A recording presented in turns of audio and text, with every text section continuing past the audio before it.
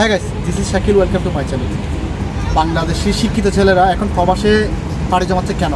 I mean ইউইতে বলেন middle east বলেন, বাইরের আদার্স কান্ট্রিগুলোতে এখন শিক্ষিত ছেলেরা দিন দিন বেশি যাচ্ছে। কারণটা কি?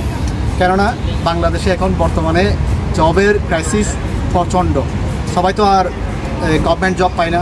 সবাই তো আর ব্যাংকার সবাই তো আর টিচার সবাই তো আর সব ধরনের জব পায় না। তো কী করবে? আর সবার তো ক্যাপিটালও অনেক থাকে না, যারা যে তারা বিজনেস করবে। সো এখন বর্তমানে বাংলাদেশে অ্যাভেলেবেল ফ্যামিলিরা তার ছেলে সন্তানদের, ছেলে বলেন, মেয়ে সন্তান, উভয়কে শিক্ষিত বানাচ্ছে। গ্র্যাজুয়েশন হচ্ছে বিবি এম করে বের হচ্ছে প্রতিষ্ঠান থেকে। কিন্তু দেখা যাচ্ছে, তাদের জব অ্যাভেলেবেল নাই। বাংলাদেশে জব অ্যাভেলেবেল পাচ্ছে না। সো এখন তার প্রভাবটা পড়ছে কোথায়? তারা পরিশেষে প্রবাসে পাড়ি জমাচ্ছে। একসময় দেখা দেখা যেত বলতো, যারা আন্ডার মেট্রিক তাদেরকে প্রবাসে প্রোভাইড করতো। যাদেরকে প্রবাসে প্রেরণ করার জন্য বেশিরভাগ উদ্যোগ হতো তাদের ফ্যামিলিরা কিন্তু বর্তমানে যারা শিক্ষিত গ্র্যাজুয়েশন মাস্টার ডিগ্রি ডিগ্রি বড় ধরনের গ্র্যাজুয়েশন নিয়েও প্রবাসে চলে আসতেছে।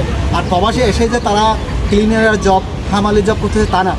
বাংলাদেশ আগের চেয়ে অনেক ডেভেলপ হয়ে গেছে এবং বাংলাদেশি ছেলেমেয়েরাও অনেক ডেভেলপ হয়েছে, তাদের স্কিল ডেভেলপ হয়েছে। যার দরুন তারা বিভিন্ন দুবাইতে বলেন আদার্স মিডল ইস্ট কান্ট্রিতে বলেন, তারা বড় বড় আইটি ফার্মগুলোতে আইটি ফার্মে জব পাচ্ছে গ্রাফিক্স ডিজাইনের জব পাচ্ছে, তারা বড় বড় হোটেল রেস্টুরেন্টেরগুলোতে শেপের তারা বিভিন্ন রিসিপশনিস্টের জব পাচ্ছে। আরও ব্যাংকে বলেন, বিভিন্ন এক্সচেঞ্জগুলোতে বলেন এক্সচেঞ্জে আমাদের বাংলাদেশি ভাইয়ের অনেক আছে। ব্যাংকে আছে অনেক বাংলাদেশি ভাই আরও অনেক বড় বড় ইনস্টিটিউশন আছে যেগুলোতে আমাদের বাঙালি ভাইয়েরা, বাংলাদেশি ভাইয়েরা জড়িত রয়েছে। সো বাংলাদেশি ভাইয়েরা আগের যে একটা, আমরা বলতাম, প্রবাসীদেরকে নিয়ে দেখতে গেলে তারা তাদের কোয়ালিফিকেশন নিয়ে প্রশ্ন জাগতো তাদের অনেক বিষয় নিয়ে তাদের প্রশ্ন জাগতো এখন সেই যুগ নেয় ভাই।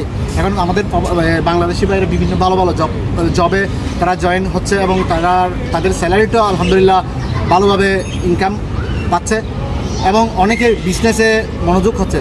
জবের পাশাপাশি তারা পার্ট টাইম কিছু করে এবং জবের থেকে একটা ভালো স্যালারি পেয়ে তারা প্রতিষ্ঠিত হয়ে তারা বিভিন্ন গোল্ড বিজনেস বলেন, তাদের শেয়ার স্টেক স্টকে ইনভেস্ট করতেছে। অনেক ভালো ভালো বিভিন্ন বিজনেসে তারা ইনভলভ হচ্ছে।